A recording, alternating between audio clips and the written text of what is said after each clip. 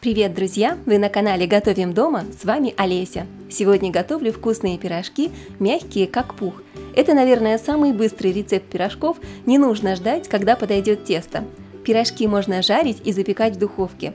Тесто готовится на кипятке, совсем без яиц, можно готовить с любой начинкой. Вкусный, быстрый и очень экономный рецепт. Обязательно сохраните его, чтобы не потерять, и поделитесь с друзьями. Пусть как можно больше людей узнают этот рецепт потрясающе вкусных пирожков. Сначала готовлю начинку. У меня будут пирожки с капустой. В сковороде или сотейнике разогреваю растительное масло, кладу мелко нарезанную луковицу и обжариваю 2-3 минуты на среднем огне. Добавляю тертую морковь и обжариваю еще 2-3 минуты. Добавляю 500 грамм нашинкованной капусты, перемешиваю и тушу 10-15 минут под крышкой на маленьком огне. Солю и перчу по вкусу.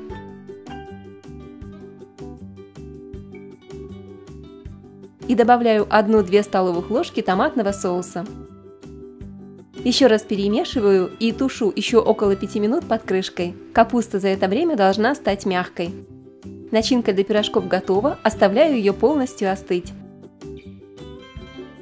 Готовлю тесто. В миску кладу 3 столовых ложки муки с горкой, 1 чайную ложку соли, 1 столовую ложку сахара и 3 столовых ложки растительного масла.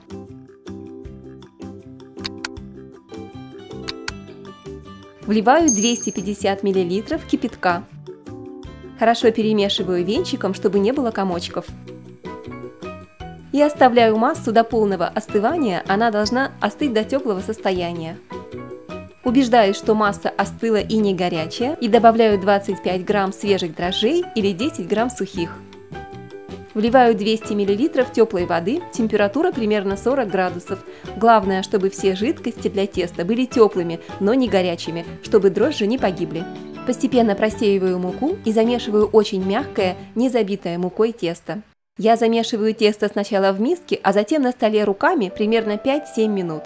Не надо добиваться того, чтобы с тестом было удобно работать и оно не липло к рукам, лучше в процессе замеса немного смазывайте стол и руки растительным маслом. А если добавите много муки в тесто, пирожки просто не получатся такими мягкими и воздушными.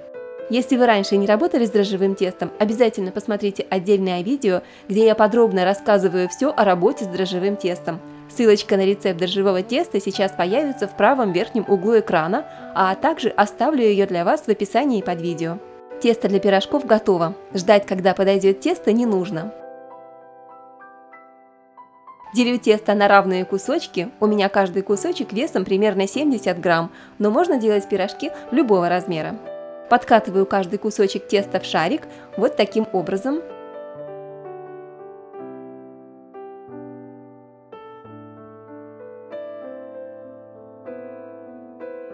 Кладу шарики на противень, посыпанный мукой или смазанный растительным маслом.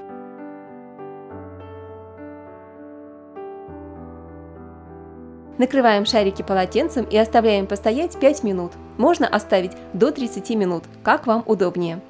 Начинаю формировать пирожки. Разминаю кружок теста в лепешку. Скалка здесь совсем не нужна. Кладу начинку. Я люблю, чтобы начинки в пирожках было много, и теперь хорошенько защипываю края. Тесто прекрасно лепится и края не расходятся во время жарки.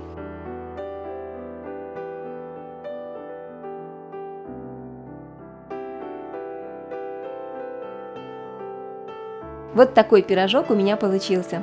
Сразу ставлю разогревать сковороду с растительным маслом. Горячее масло кладу пирожки, лучше, чтобы они свободно плавали в масле и не касались дна. И жарю на слабом или среднем огне и здесь есть маленький секретик, чтобы пирожки хорошо прожарились внутри и получились румяными. Нагрев должен быть умеренным, не слишком слабым и не слишком сильным. Когда пирожки зарумянятся с одной стороны, аккуратно переворачиваю и жарю до румяности с другой стороны. Пока жарится первая партия пирожков, в это время леплю следующую партию. Посмотрите, какая красота получается. Готовые пирожки обязательно выкладываю на бумажное полотенце, чтобы убрать излишки масла.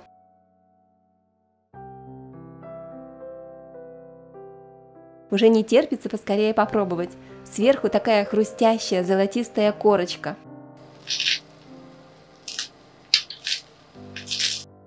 А внутри нежное, как пух тесто и много начинки. Вкусно, невероятно. Обязательно попробуйте, эти пирожки станут вашими любимыми, гарантирую. Спасибо вам, что доверяете и готовите по моим рецептам. Если вам понравился рецепт, поставьте, пожалуйста, лайк этому видео и поделитесь с друзьями. Также буду благодарна, если напишите любой комментарий, хотя бы смайлик. Для меня это очень важно. Ну а я прощаюсь. До новых вкусных рецептов. С вами была Олеся на канале «Готовим дома». Скоро увидимся!